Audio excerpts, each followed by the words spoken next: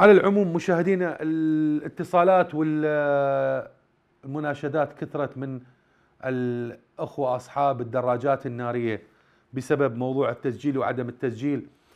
فجبنا لكم الآن تصريح من اللواء زياد القيسي المتحدث باسم مديرية المرور العامة.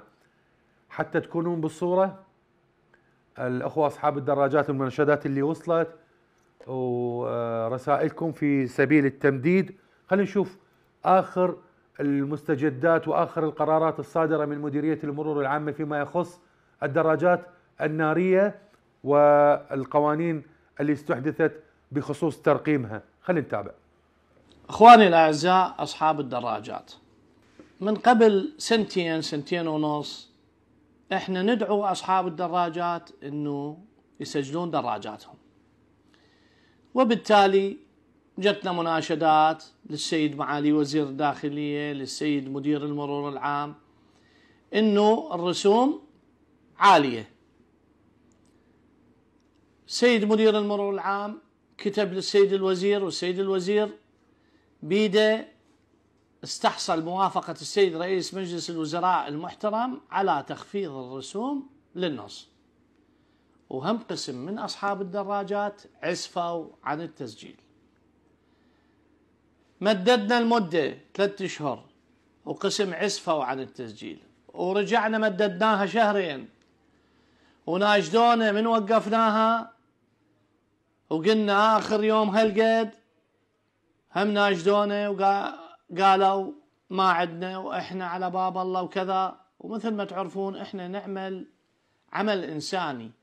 وهاي الشريحة شريحة الشباب الشريحة الكادحة مهتم بها السيد الوزير والسيد مدير المرور العام.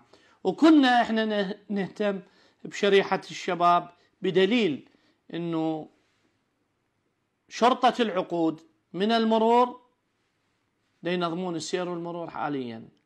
شباب 18 و19 و20 سنة أعمارهم. إذا إحنا اليوم بدنا ندعم الشباب.